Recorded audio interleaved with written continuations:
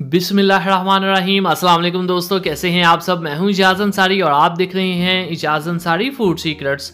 अल्लाह बरकत दे आपके खानों में, आपके रिज्क में, आपके जायकों में। तो बड़े प्यार पर दोस्तों, आज मैं आपके लिए अंडे वाले बर्गर की रेसिपी लेके आया हूँ। शानदार इसमें हम शामी टिक्की बनाएँगे और एक एक स्टेप को इतनी डिटेल से बताऊँगा कि इन जब आप ये बनाएँगे तो पहली दफ़ा में ही आपका परफेक्ट बर्गर बनेगा और शामी की खुशबू पूरे मोहल्ले में फैल जाएगी। सबसे पहले, बिस्मिल्लाहिर्रहमानिर्रहीम, हम अपने प्यारे से प्रेशर कुकर में वन थर्ड कप लेंगे कुकिंग ऑयल का, और इसमें दो बड़ी इलायची जाएँगी। अगली चीज़ जो इसमें जाएगी, ये है बादियान का एक फूल, और ये है हमारे पास एक छोटा सा टुकड़ा दारचीनी का। अगली चीज़ है इसमें दो तेज़पात, छोटे साइज़ के, ये है लौंग, तीन से चार अदद। और इसमें जो चीज़ सबसे अहम है, आपको मैं बताऊँ, वो होती है चिकन की स्मेल को दूर करना। अक्सर लोगों की जो शामी होती है, उसमें चिकन की स्मेल बहुत ज़्यादा होती है। अदरक लहसुन को मैंने कूट के फ्रेश यूज़ कर रहा हूँ, तकरीबन डेढ़ टेबल स्पून तो सबसे ख़ास जो इस चीज़ में ट्रीटमेंट है, वो है चिकन की स्मेल को दूर करना और शामी के अंदर एक बहुत ही स्पेशल खुशबू लेके आना। खुशबू कैसे आएगी, मैं आगे जाके आपको बताऊँगा, स्मेल कैसे ख़त्म करनी है, ये मैं आपको यहाँ पे बताऊँगा। अच्छे से इन मसालों को हम यहाँ पे फ्राई करेंगे ताकि इनका जो फ्लेवर और अरोमा है वो निकल सके। उसके बाद इसको ज़्यादा आपने नहीं पकाना कि ये जल जाए। आ, ये मेरे पास चिकन है हड्डियों वाला चिकन लिया है मैंने ताकि फ्लेवर जो है शामी में ज़्यादा आए ठीक है? आप बोनलेस ले सकते हैं उससे रेसिपी आसान हो जाएगी लेकिन असल अगर आपने टेस्ट लेना है ना तो आपको ये कंप्लीट चिकन लेना पड़ेगा। वन के मैंने चिकन लिया है और यहाँ पे मैं इसको अच्छे से इसकी भुनाई करूँगा और ये वो ट्रीटमेंट है जिससे चिकन की स्मेल होगी ख़त्म। तकरीबन 12 से 13 मिनट मैंने इसकी भुनाई की है, ठीक है? चलें जी। अगली चीज़ जो इसमें जाएगी, ये है दाल। दाल को लेकर मैं आपको बता दूँ, दाल में एक अजीब सी स्मेल होती है जो अक्सर रेसिपीज़ को ख़राब करती है। उसका क्या तरीका है? इसने, इसको आपने जब भी यूज़ करना है, पहले अच्छे से खुले पानी से आपने इसको धोना है। इसके ऊपर बहुत ज़्यादा डस्ट होती है जिसको आपने उतारना है। यहाँ पर मैंने हाफ़ के जी दाल ली है और इसको मैंने भिगो के रखा था कोई चार घंटे पहले। एक से डेढ़ गिलास इसमें पानी का जाएगा। तीन छोटी इलायची यहाँ पे हम खुशबू के लिए ऐड कर रहे हैं। चले जी, यहाँ पे दो मीडियम साइज़ के प्याज, जैसे मर्ज़ी कटे हुए ऐड कर दे, कोई मसला नहीं।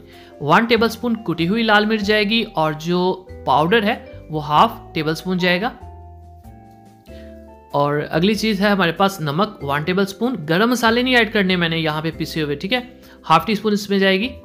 हल्दी इन सब चीज़ों को मिक्स करेंगे। अब गरम मसाले क्यों नहीं ऐड हो कर रहा मैं? मेरे सब्सक्राइबर्स जानते हैं, आपको मैं थोड़ा आगे जाके बताऊँगा। प्रेशर कुकर लगाएँगे हम, इसको तकरीबन आठ से दस मिनट और बिस्मिल्लाहमान रहीम आठ से दस मिनट हो चुके हैं और यहाँ पे जो दाल है अच्छे से गल चुकी है और चिकन भी, हड्डियाँ यहाँ पे भी निकाली जा सकती हैं, लेकिन हम इसको आगे जाके निकालेंगे। यहाँ पे हम इसका ट्रीटमेंट करने लगे हैं खुशबू वाला। पहले स्मेल दूर की थी, अब इसमें खुशबू ऐड होगी। वन टेबल स्पून खुश्क धनिया पाउडर जाएगा इसमें और ये है ज़ीरा हाफ़ टी स्पून जाएगा। काली मिर्च हाफ़ टी स्पून जाएगी इसमें और ये है हमारे पास एक चिकन क्यूब इसको हम पानी के अंदर मिक्स करके ऐड करेंगे। ये है हमारे पास chicken powder half teaspoon, ये बहुत अहम होता है, घर पे ज़रूर रखा करें। बहुत सी रेसिपीज़ में यूज़ होता है, इससे चिकन का बहुत अच्छा फ्लेवर आता है। गरम मिक्स मसाला वन टी स्पून जाएगा। अब इन चीज़ों को मसालों को मिक्स कर देंगे और जैसे जैसे ये मिक्स होते जाएँगे, आपके किचन में नहीं, आपके पूरे घर में नहीं, आपकी गली में भी इसकी खुशबू जाएगी और इस चीज़ की गारंटी है। ये चिकन क्यूब ये दो चीज़ें चिकन पाउडर और चिकन क्यूब ऐड करने से ऐसा फ्लेवर निकलता है कि सुबहान अल्लाह। चलें जी, अच्छे से मिक्स करेंगे, फ्लेम को हाई करना है, इसको हम कर लेंगे ड्राई, जो बोन्स है चिकन की, वो हम आगे जाके निकाल लेंगे, कोई प्रॉब्लम नहीं। हमको इसकी, इसको कूटने की ज़रूरत नहीं पड़ेगी। फुल फ्लेम के ऊपर हमने इसको कर लिया है ड्राई। अब अपनी प्यारी सी, खूबसूरत सी प्लेट में इसको निकाल लेंगे और ये लें जी। इसको हम कर लेंगे थोड़ा सा फैला देंगे ताकि ठंडा हो जाए और उसके बाद इसमें से जो बोन्स हैं, वो आप आराम से हाथों से निकाल सकते हैं। ये देखें, बहुत इजीली निकल जाएँगी। ये देखें आप। अब ये इतनी परफेक्ट चीज़ आपके पास तैयार हो गई है कि सुबह अल्लाह दो अंडे लेंगे, एक प्यारे से बॉल में, और इन अंडों को हम कर देंगे अच्छे से मिक्स ये लें जी। अब और भी काफ़ी चीज़ें ऐड होगी। ये जो है, ये देखें, ये मिक्सचर हमारा। इसके अंदर हरे मसाले जो है, मैंने ऐड नहीं किए थे। वो इसलिए ऐड नहीं करते ताकि उनकी खुशबू जो है, वो डिस्टर्ब ना हो। हरा धनिया जाएगा, तीन से चार टेबल स्पून और ये है, तीन से चार बारीक कटी हुई हरी मिर्चें। तो ये इसलिए एंड पे ऐड करते हैं कि इनका टेस्ट भी फ्रेश रहता है और खुशबू भी अच्छी रहती है। इसकी एक टिक्की बना लेंगे, शामी टिक्की। और, ये लीजिए, टिक्कियों के बारे में मैं आपको बता दूँ कि अगर आप इनको चाहें तो फ्रीज़ कर सकते हैं। दो महीने तक इनको फ्रीज़र में कुछ नहीं होता। ये कंडीशन है जब आप इसको फ्रीज़र में सेव कर सकते हैं। और जब आपका दिल करे शामी बर्गर अंडे वाला बर्गर बनाने का, आप इनको निकाल लें। इवनिंग स्नैक्स के तौर पे यूज़ करें ब्रेकफास्ट में यूज़ करें, बच्चों को टिफ़िन बॉक्स में दें। मतलब कि एक दफ़ा अगर आप ये बना लें तो दो महीने तक आप इनको यूज़ कर सकते हैं। तो इनके अंदर भी अंडा मिक्स हो सकता था, जब मैंने हरे मसाले मिक्स किए। लेकिन ट्रेडिशनल जो वे है, वो यही है कि अंडे में डीप करके इसको फ्राई किया जाता है। शैलो फ्राई करेंगे हम। क्योंकि एक्चुअली तो अंदर से ये डन है कम्प्लीटली हमने जस्ट इसके ऊपर एक अंडे का फ्लेवर लेके आना है। चलें जी, ये डन हो गई। दो दो मिनट दोनों साइड्स को देंगे। अब पैन को हल्का सा ग्रीस कर लेंगे और एक बनाएँगे खूबसूरत सा ऑमलेट ये लें जी।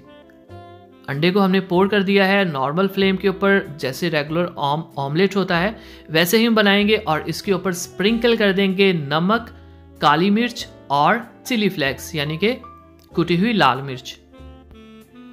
तो अच्छी तरह इसको पकाएँगे ताकि अंडे की स्मेल वगैरह जो है वो ख़त्म हो जाए। ये देखें जी, अंडा तैयार है बिस्मिल्लाह रहीम इसको देखें सुबहान अल्लाह मेरे अल्लाह की शान, दिल खुश हो जाता है। चलें जी, अब पैन में हल्की सी ग्रीसिंग करेंगे दोबारा और ये जो हमारे पास बर्गर बन है, ये थोड़े से कच्चे होते हैं, जब भी इनको यूज़ किया करें, हमेशा थोड़ा सा पका लिया करें और जो डबल रोटी होती है, उसको भी हमेशा थोड़ा सा पका के यूज़ करना चाहिए। इनके अंदर हल्का सा कच्चापन होता है।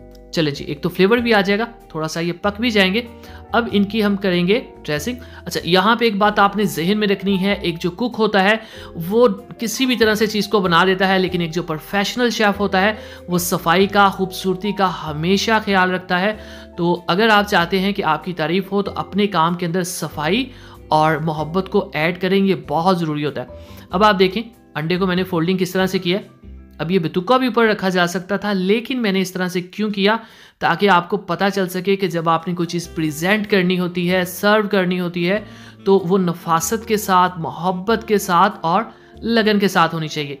ये सारे, ये सैलड है, इसमें जस्ट अनियन और बंद गोभी है। कैचअप मायोनीस आपके सामने सब कुछ लग रहा है। अहम बात यह कि जब भी आपने इन चीज़ों को बनाना है तो सफ़ाई खूबसूरती के साथ, नफासत के साथ आपने काम करना है। इसको उसके ऊपर रख देते हैं और बहुत ही प्यार के साथ इसकी हम कर लेंगे कटिंग साइड से हम इसकी कटिंग करेंगे और साथ इसके हम कैचअप मायोनीज सर्व करेंगे। लाहौर में ये इसी तरह से प्रेजेंट किया जाता है। उम्मीद है आपको पसंद आई होगी वीडियो। वीडियो पसंद आई तो लाइक कर दीजिए, चैनल को सब्सक्राइब कर दीजिए और अब दीजिए इजाज़त। सारी को इजाज़त, अगली वीडियो तक। अल्लाह हाफिज़